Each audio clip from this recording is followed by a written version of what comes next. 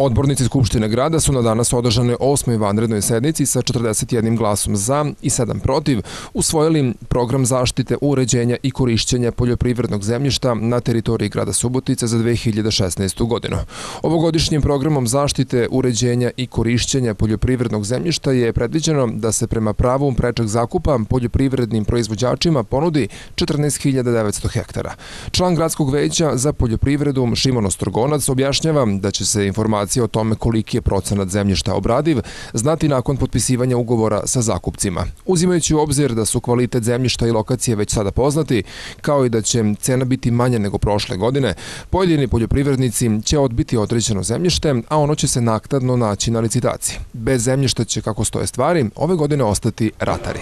Na primjer, pored autoputa pozajmišta su u godišnjem programu, da su razni pristanike i močvare su u godišnjem programu, da su peskovi severno od Subotice u godišnjem programu i verovatno te naše ponude će e, zakupci da odbiju i doćemo isto do istih podataka da ćemo moći da damo u zakup e, površine između 12 i 13 hiljada hektara koje su stvarno za poljoprivrednu proizvodnju. Opozicija je ovaj put imala zamerke na predloženu odluku, ali ne u smislu njenog sprovođenja, već pojedinih odredbi koje su propisane zakonom.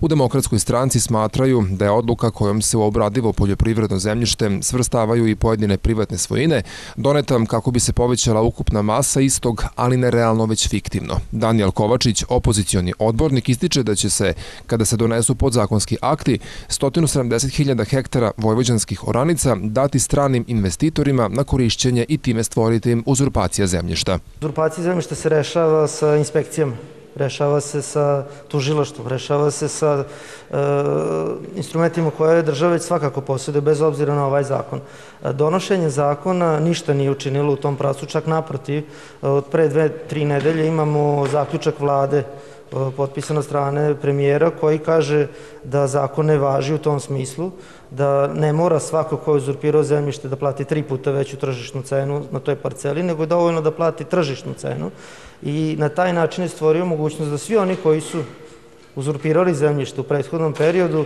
sada to legalizuju. Dozvolili smo jednu legalizaciju korupcije i kriminala u državi i zakon jačeg da bukvalno onaj ko dođe prvi na parcelu, ko zabode zastavicu i ko je jači može da radi to zemljište.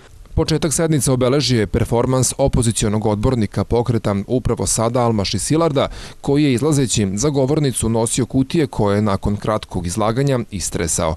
U kutijama su se nalazili papirići koji prema Almašijevim rečima simbolizuju pokredene cigle sa gradilišta Narodnog pozorišta. On je zatražio od lokalne samuprave da objasni gde je nestao taj građevinski materijal. Sigurno se sećate da pre nekoliko godina sam doneo ciglu, jednu običnu veliku zagovornicu i pitao sam naše odbornike znaju li uopšte kako izgleda jedna obična cigla. I pitao sam i njih gde su naše cigle od Narodnog pozorišta. Svi tih 400.000 što, što su ukrađeni. Nisu dali ovaj, nikakav odgovor.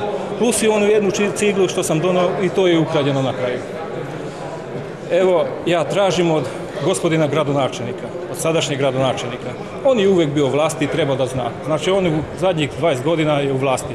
Treba da zna gde su naše ukrađene cigle. Jednostavno, želimo odgovor na pitanja. Ako sastavimo te cigle, to vam je u ovom trenutku milion i 500 kilograma. Ova jedan papirčić je od 1 centi sa 2 centija.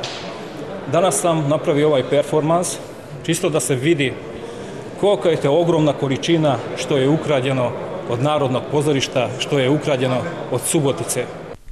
Današnja osma vanredna sednica posljednja je u ovom sazivu lokalnog parlamenta pred izbore koje se održavaju u nedelju.